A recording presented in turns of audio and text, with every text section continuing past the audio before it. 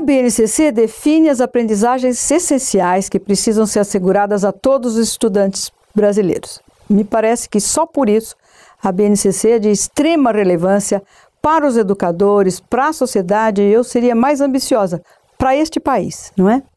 É óbvio que a BNCC tem que sair do papel e tem que virar realidade. De fato, tem que assegurar essas aprendizagens a todos os alunos. E aí está o primeiro desafio das redes, dos sistemas, das escolas.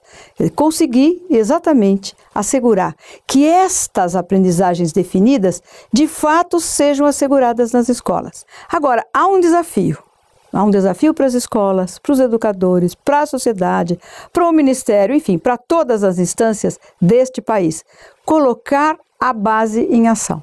Ou seja, tirar a base do papel, assegurar de fato aquelas aprendizagens que estão ali definidas para todos os alunos.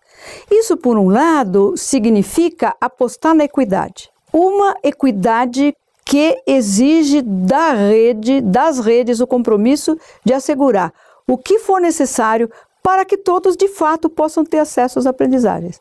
Por exemplo, apenas para dar um exemplo, um exemplo simples, a questão da mobilidade. Quer dizer, se há pessoas, há crianças que não conseguem se deslocar dentro da escola para os vários ambientes, esta mobilidade tem que ser assegurada. Se há pessoas cujos materiais didáticos disponíveis não permitem assegurar estas uh, aprendizagens, certamente tem que se investir em materiais alternativos que façam exatamente isso. Então veja, a base define a igualdade ao se referir a aprendizagens essenciais para todos. O reverso disso é a equidade, como assegurar de fato que todos tenham condição de desenvolver essas mesmas habilidades. Eu me referi a aspectos muito singelos, mas eu poderia, por exemplo, dizer a questão das tecnologias com as tecnologias, com o uso das tecnologias, você tem aí um recurso extraordinário para assegurar, para privilegiar a diversidade de, de, modos de aprender dos alunos e garantir acesso para a diversidade aí dos alunos. Eu falei de um aspecto, mas a gente poderia falar de vários.